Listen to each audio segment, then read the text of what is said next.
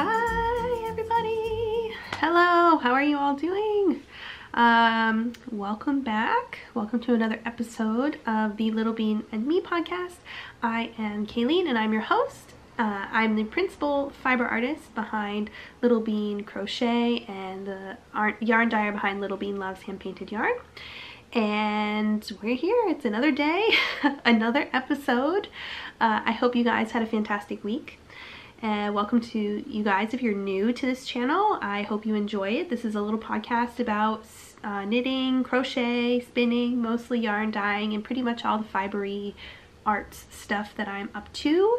Um, most of the time I end up going over some works in progress, finished objects. I go over my dye work that I've been doing over the last week, any interesting dye topics that I have to talk about. Uh, today is another episode where I'm going to entertain some questions. I asked on Instagram for some questions um, if you had anything for me. So I have a couple that I'll answer later on in the podcast. And then usually toward the end of the podcast is where I talk about life things and how things are going for us here. But yeah, so if you're interested in that stuff, just stay where you are. That's what this is all about. Um, and if you're a returning viewer, subscriber, welcome back. I'm glad to see you again. So, it's a new week.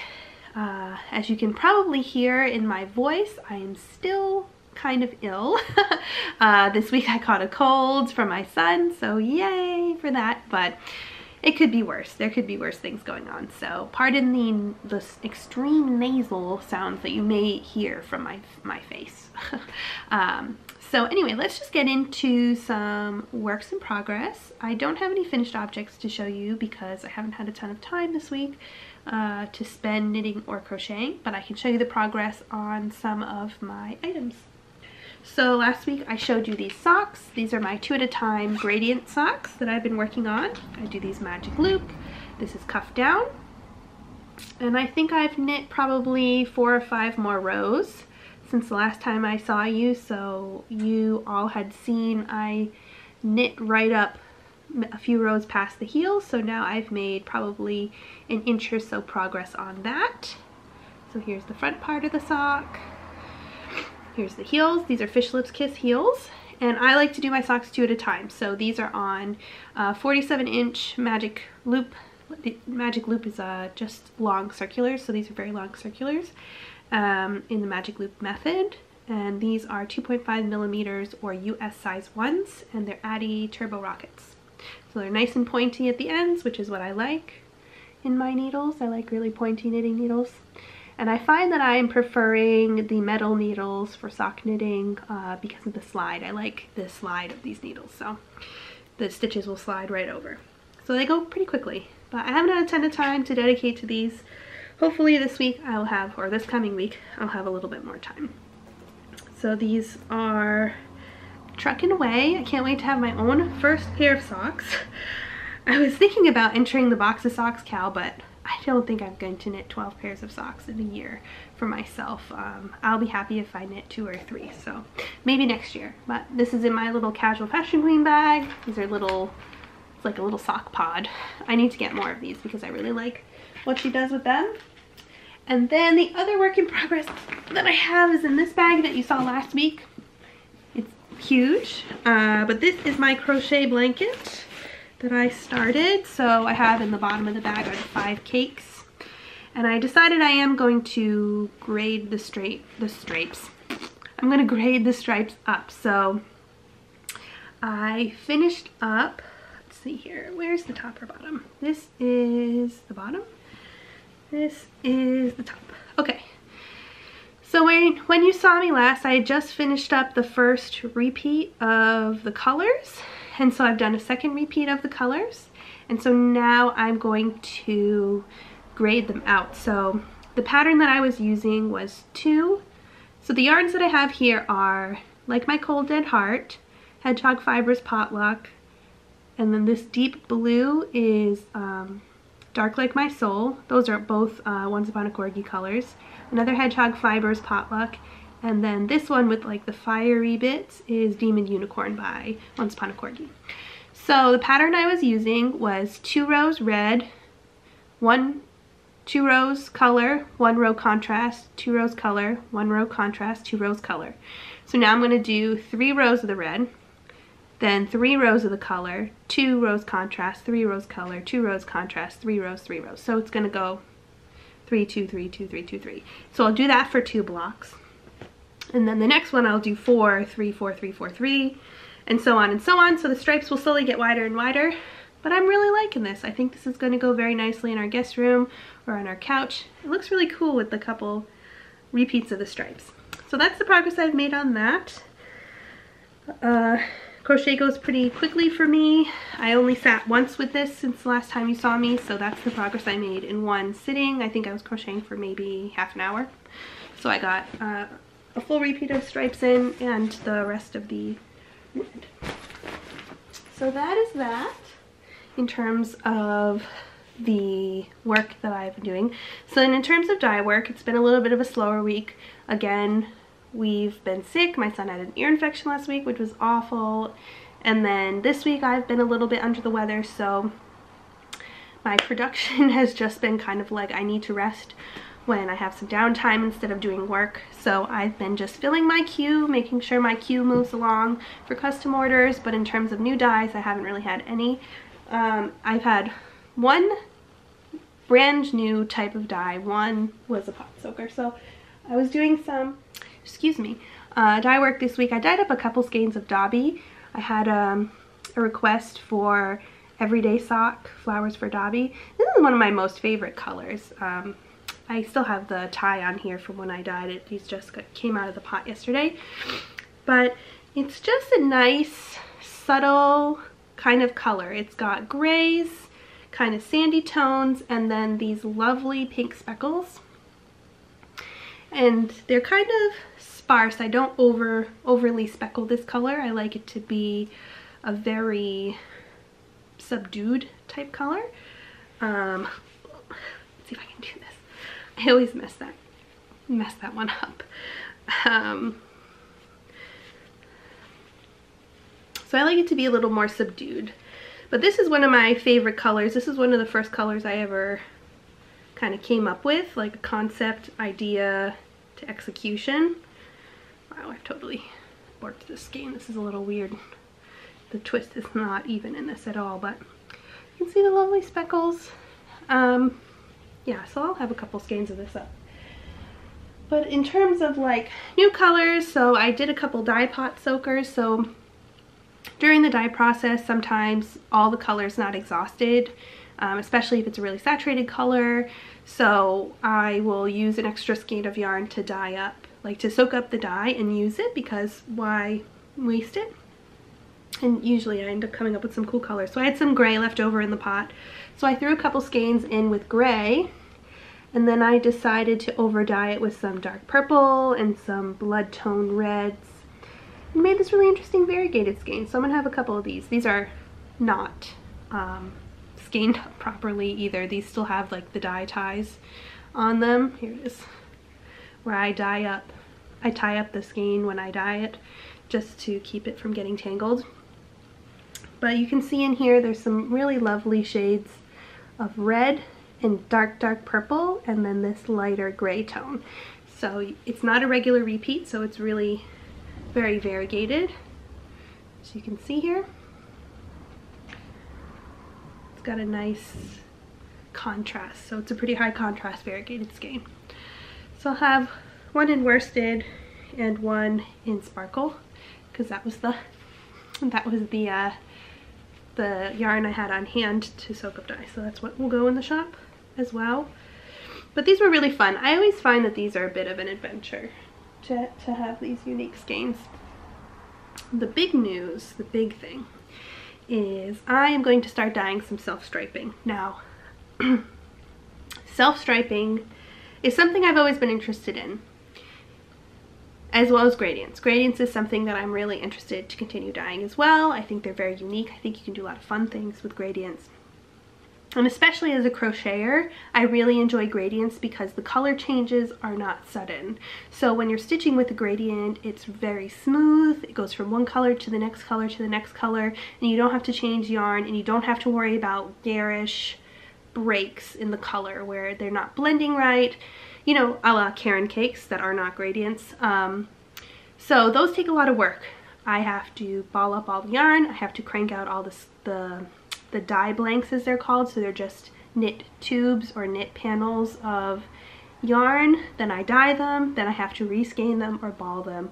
Um, so they're very labor intensive and so is self-striping. Perhaps even more so. Um, so I wanted to talk a bit about self-striping today because I feel like not a lot of people know what goes into making a self-striping skein if you're new to the whole indie dyer world or learning about how yarn is dyed. When a yarn comes in a hank, it usually comes in a hank that is about this long. This is around two yards or a yard and a half.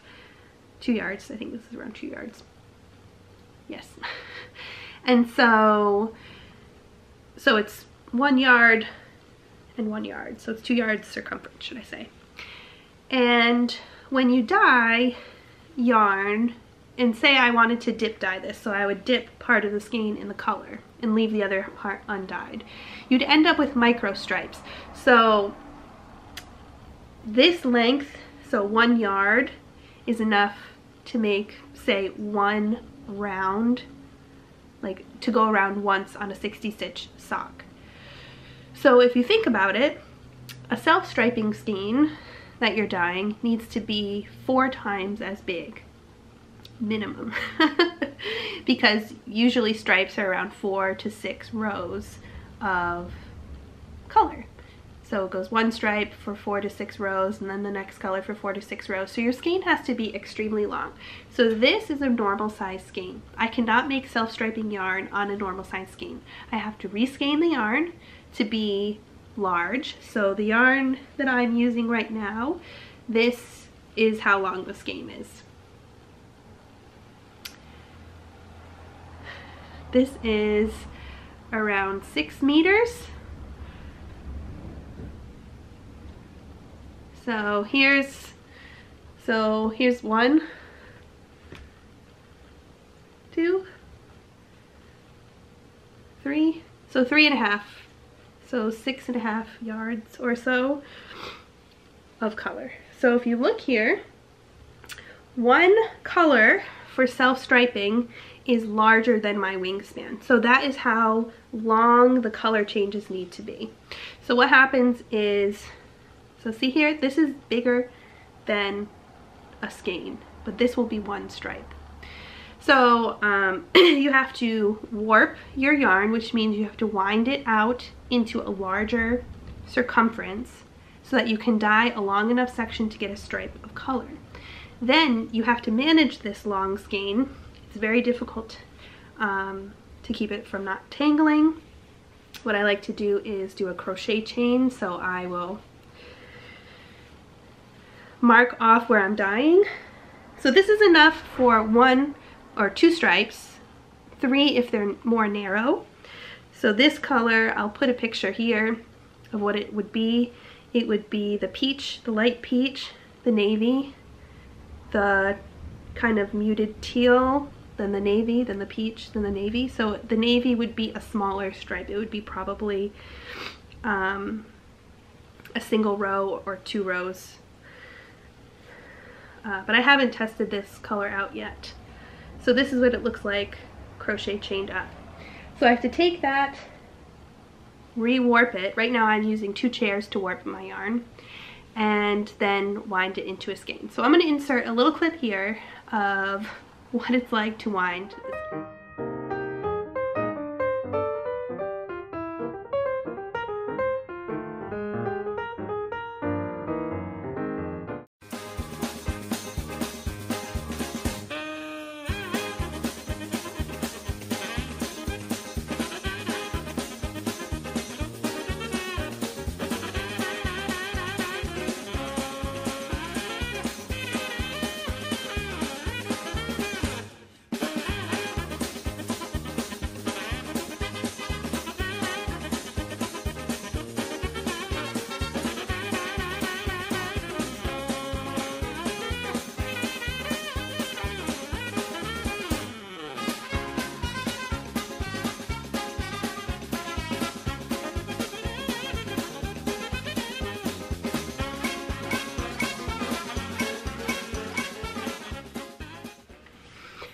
So I hope you enjoyed that. I put that on Instagram. I thought it would be an interesting little um, insight into how uh, self-striping yarn is made. So I've only just begun.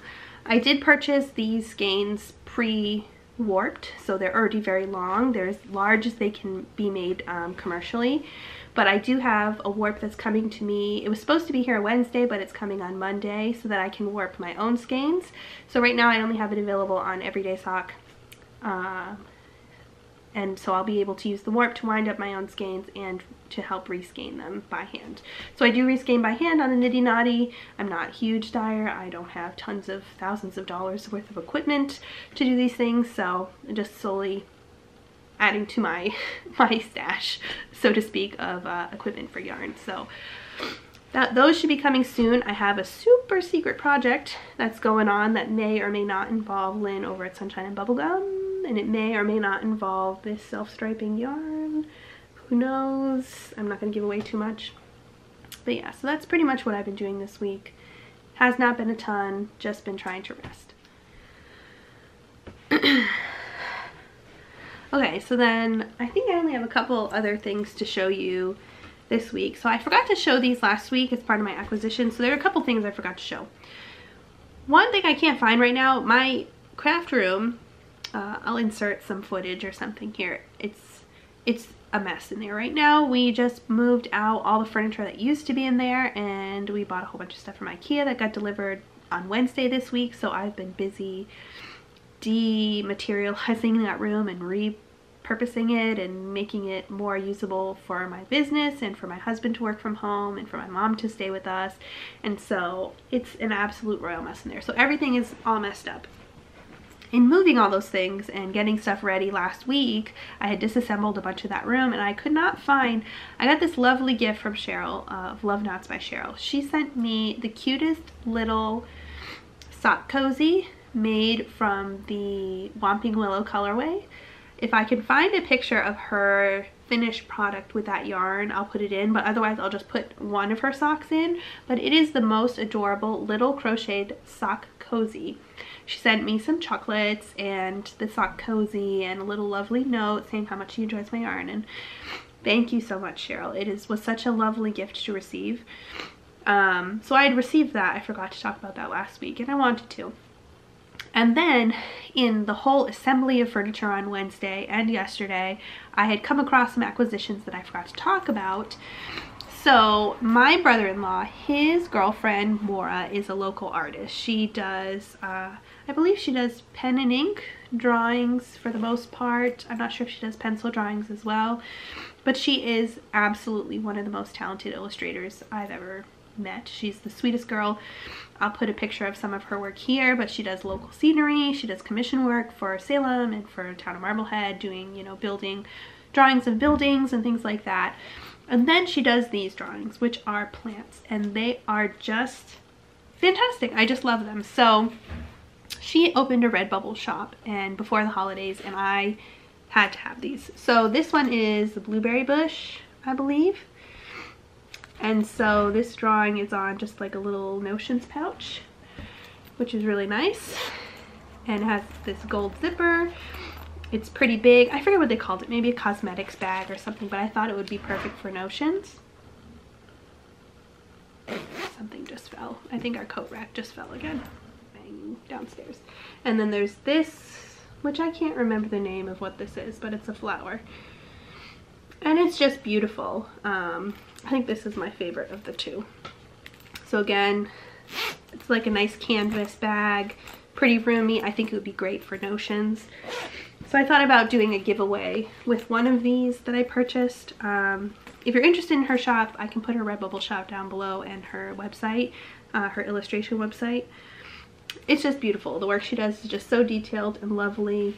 And I just love it. Just love it, just love it, just love it. So I meant to talk about those last week. So um, that's all I really have in terms of that stuff. So if that's all you came here to see, I'll see you next week. But if you'd like to hear me answer a couple of questions, I do have some. I asked on Instagram for questions today, earlier this morning, to see if you had anything that you'd want to know from me. Um, if you want to submit a question to me, you're always welcome to do so in the Ravelry group. I do have um, an Ask Me Anything thread in the Ravelry group. If you search under Little Bean and Me podcast in the groups tab, um, you should be able to find our group pretty easily. You're welcome to ask there. I always check. And then sometimes I'll ask on Instagram or Facebook for questions, and that's when I usually get a ton of questions. So I'm going to read some questions here right now. So Sarah from the Hooks and Books podcast asked a question this morning. Uh, she said, how did you start dyeing? What sparked your dyeing ideas and colorways? So, hi Sarah. um, thanks for your question. So I did talk about why I started dying, I think, earlier on, maybe episode two or three of, you know, what made me want to dye. But it's really a, a nice creative outlet for me. I'm at home with kids all day. Um, yarn is something I've always loved and so it was it just felt like the next natural step for me as a fiber artist to begin dyeing yarn and to experiment with dyeing yarn like different techniques of dyeing yarn, learning what goes into the process, um, like learning about more indie dyers and kind of expanding my knowledge that way. Um, I used to be primarily, you know, a craft store girl where I just go to Michael's and get my yarn and make whatever I wanted and sell it or don't sell it or give it to a photographer or a friend or whatever. And like I've, I had knit, I mean, I had crocheted with other materials, like not just acrylics, I had crocheted with, you know, I've crocheted with indie dye yarn before. There's an indie dyer who's also local to me, um, Anna, she is the dyer behind Toil and Trouble Yarns. If you follow her on Instagram, um, she owns Circle of Stitches in Salem, another nice local yarn shop. If you're ever in the Salem, Mass area, you should definitely go over and check her out. Um, but I've stitched with her yarn before and I've stitched with other wools, alpaca. I don't like alpaca, it makes me very itchy. I'm definitely allergic to alpaca. Um, my entire face like just lights on fire, like it's just burning and just awful.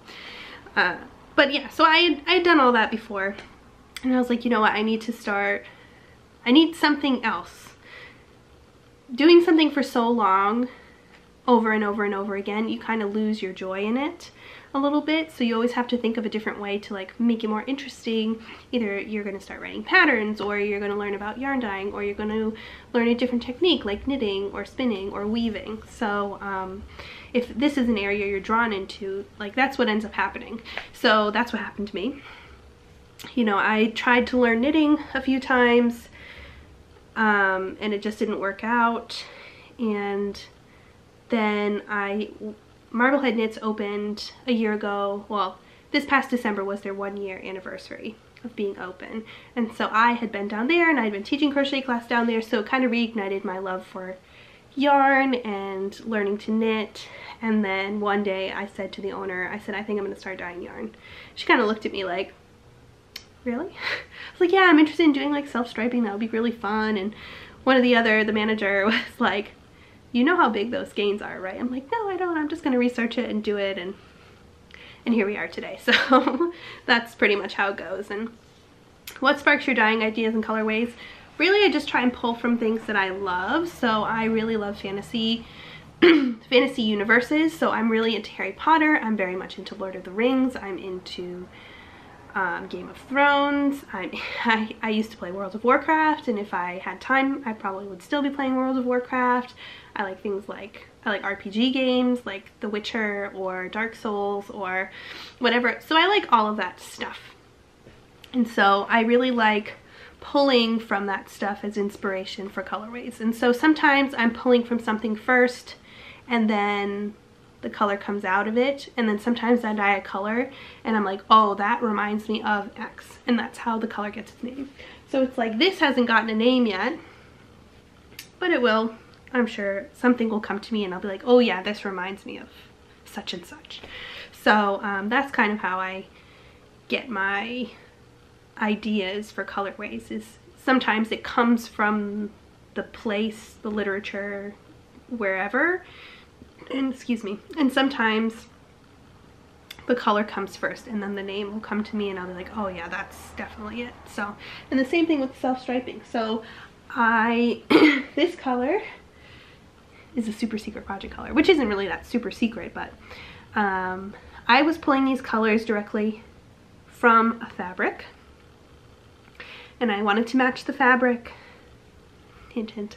Uh, and so I'm dyeing this color and I'm like, I really, really love it. And I had to think of a name for it. And I'm just, I'm looking at it, looking at it, looking at it. And I'm like, you know what this reminds me of? Is Fleur Delacour, which is the name of the color is going to be Fleur.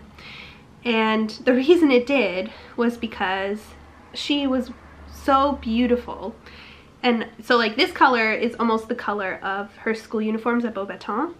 She has very dark blue eyes and very pale peachy skin and long long blonde hair. So I thought this was a perfect color for Fleur and it's a really beautiful combination. Uh, so that's where the name came from. It just, I looked at the skein and I said, hmm, yeah, you feel like Fleur to me. So that's where this got its name. So it was ended up being dyed with matching colors in mind and then looking at the skein after saying what are you? What are you? You're you're something. You I know what you are. Like speak to me. And then you know you get that idea. And you're like oh yes. That's what it is. That's what I wanted to name you. So that's one question. So Sandy who on Instagram is Omak, O-M-A-K 2006. She's the dyer behind Bear Hug Fibers. She asks me, do you ever lose your dyeing mojo for a few days? If so, what do you do? Yes, I do. I think like any creative person, if you're in a creative field, um, you don't always, it's not just this free-flowing creative mojo. Like it's not always just flowing. You're not just sitting there going like, I have all these bajillion ideas and I'm just gonna do them all in this perfect, I will never run out. Like you get writer's block it, with dying and certainly dye like call it dyer's block I guess um, where you just feel burnt out on the same colors or the same concept or the same technique um, so if I lose my dying mojo I kind of just take a step back I take a cue from Sheena uh, over at Casual Fashion Queen and do kind of an anarchy dye where I just take colors that I feel like using, put them in the pot, and see what comes out the other end. And it kind of frees up the I don't know, the inspiration where you don't feel like you have to use the same technique all the time. You know, I have dyed this color so many times, I could do it in my sleep. And to me, it's kind of boring to dye because I'm like, I already know what I'm doing and I know the outcome I'm going to have. So that's why I think doing, you know, kind of anarchy colors like this one, where you take, I just take a dye pot soaker and I'm like, okay, I'm just going to create something beautiful on you. And that's how I came up with this it just kind of opens up your your palette so to speak where you start putting colors together that you maybe you normally wouldn't or you use techniques together that normally you wouldn't so like that's what I end up doing it's just I try to mix it up and, and do something out of the box and not go in it with an agenda. I just go in it with I'm going to make pretty yarn and I'm going to see what comes out. okay. I feel like I'm slowly becoming more and more congested as this goes along, so part of that. All right, so Cheryl, hi Cheryl, of Love Knots by Cheryl asks me, socks for the absolute beginner who wants to dive in, where to start? Tips on not turning your socks inside out when you're knitting. okay, so socks for the absolute beginner. Do one sock at a time, one sock. It doesn't have to be fancy what I would say is it's hard to know it's hard to know where to begin because I feel like every person is different with what they prefer with socks and it's only by trying different things that you learn what you like or don't like. So when I started knitting socks, I learned on double pointed needles. Um, back in like the first or second episode, of this podcast, I talked about making a Rose City roller sock and I thought it would be really fun and it would be a nice first sock and it was a paid for pattern. I didn't care about, oh no, actually that's a free pattern. I'm sorry, correction, it's a free pattern. But I didn't care if I had to pay for a pattern or whatever. I just wanted to find something that I liked that I thought looked really cool, that was pretty simple and just make it. So the Rose City roller pattern is a shorty sock. It has a rolled cuff, so you're just starting by knitting, so you're not even doing ribbing and then it has a heel flap and a gusset and then the foot and then the toe decrease. And it gives you instructions in double pointed needles. And it says it can be converted to magic loop or whatever. So I decided I was just gonna do it. So I got myself some Karbonz DPNs. Oh my god, I have them in here. No, I don't. That's just tapestry needle. Um, and I decided I was gonna do it. Had no idea about gauge, had no idea about anything. And I just did it. And that's where I started. And I definitely think that you should just jump in, find a very basic sock pattern that appeals to you. So the Smooth Operator sock has an afterthought heel. There's some free basic vanilla sock patterns that are on Ravelry. Um, Mina Phillips two at a time socks pattern has, you don't have to do them two at a time, but she has really good references for stitch counts and gauge. And then the Rose City Rollers are a great pattern, it has a heel flap and gusset. So I definitely recommend just doing it, just starting, stitching a sock, try cuff down because you know you're starting with an open end, you're not doing any increases or decreases, you're learning about gauge and tension, and then do a heel. I would say start with the heel flap and gusset because then you'll learn how to pick up stitches, you'll learn the construction of a sock, why a sock has the construction that it does. Um, and I would say do one at a time. Whether you do magic loop and you have it on a set of circulars like this, where you knit down one side and then pull the back needle out and then knit and then pull the needle out and then knit, or you do it on double pointed needles. It doesn't matter. Um, do whatever is most attractive to you in terms of technique. If you're a knitter, if you've never knit anything before and you want to knit socks, I would say do them on double pointed needles. It's easier to count on double pointed needles. It's a bit cumbersome in the hands, but it's easier to kind of manage the amount of stitches you'll have. If you've knit before, you probably have an idea of what technique you're already familiar with or a technique that you like. So use the technique you're most comfortable with. You don't have to use double pointed needles. You don't have to do magic loop. You don't have to use a 9 inch circular if a pattern says so. You can do the technique that's most appealing to you. So that's what I would say. Tips on not turning your socks inside out. Um, so when you're knitting, now everything got tangled because I put it down in haste. When you're knitting, your yarn is always coming from the back. So whether you're throwing or not. So it's, it's hard to show because you're looking at me, but if you can see here, my yarn is on the back needle. That was the last stitch that I made. So if you always keep in mind that your yarn is attached to the last stitch you made, you can figure out where your yarn came from. So even if it's tangled in your needles, I can see here that my yarn is attached to this side of my work. So I know that I'm going to be knitting over here. I'm going to pull this needle out and begin knitting here. So it's just a matter of taking your time, getting to know what a knit piece looks like, um, and know that your yarn is always attached to the, the last stitch that you made if you're using double, if you're using magic loop method, it's easy because there are two needles. The needle that you just had your last stitch on and then the needle that you're going to be knitting on. If you're using double pointed needles, it might be a little more difficult. You can use a stitch marker to mark the beginning of your round um, and like maybe make a rule for yourself like I'm going to knit one at least one round. I won't stop in the middle of a round so that you come to the end and you're at your stitch marker or progress keeper or whatever. So then you know you're at the beginning of your round. And if you find where your yarn was last, you'll know the next needle that you're going to have to knit on. I don't know if that makes sense, but that's my thought process when I'm knitting these socks, especially when the yarn gets all tangled. I always, if it gets tangled, should I say, I'm always looking to where is my yarn attached? Is it attached to my back needle? Is it attached to my front needle? If I turn this around, say I, it's hard to do because these are two at a time, so it's not like I can really show to, so if I'm looking at them backwards, can see that the yarn is on the side facing me so I know that like I'm not going to be I don't know it's hard to show a magic loop because there's only two sides the side that you just finished and the side that you're going to be knitting. I suppose if you're knitting two at a time I'm rambling I'm sorry. Um, so let me knit down this piece of the sock here.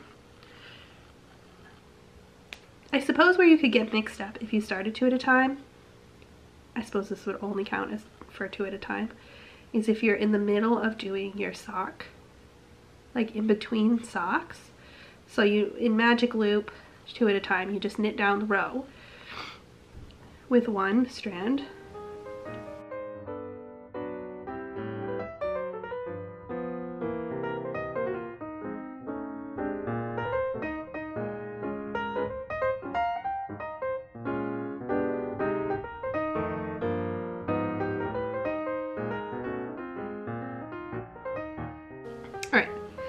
if you're knitting your socks two at a time, I just knit down this row and say you have to put this down.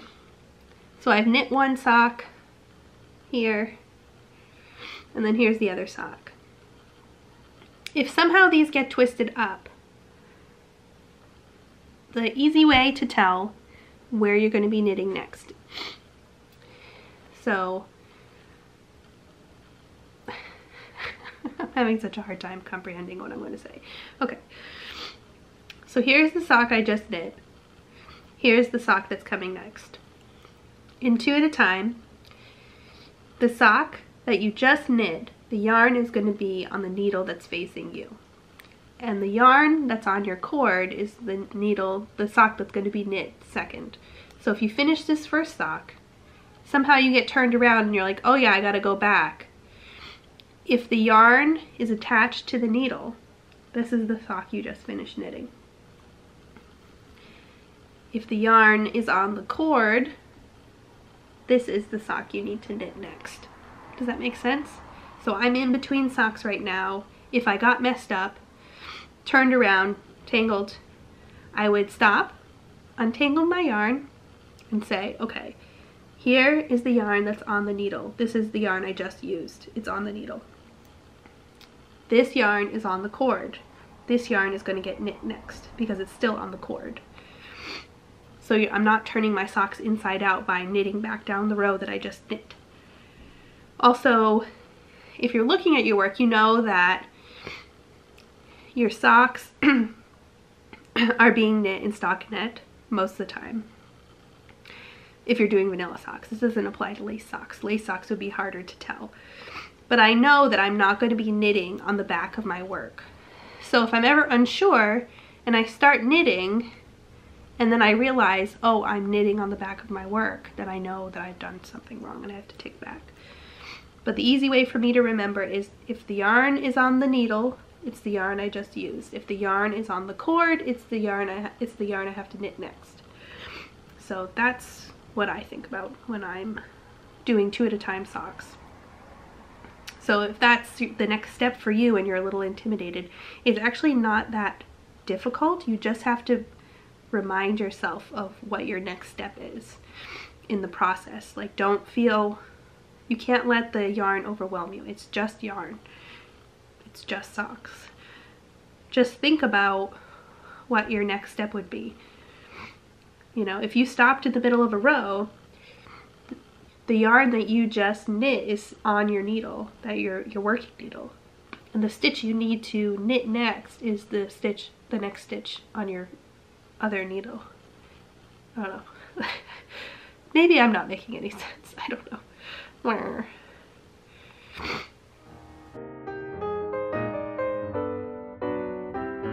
Alright, so I want to show you something.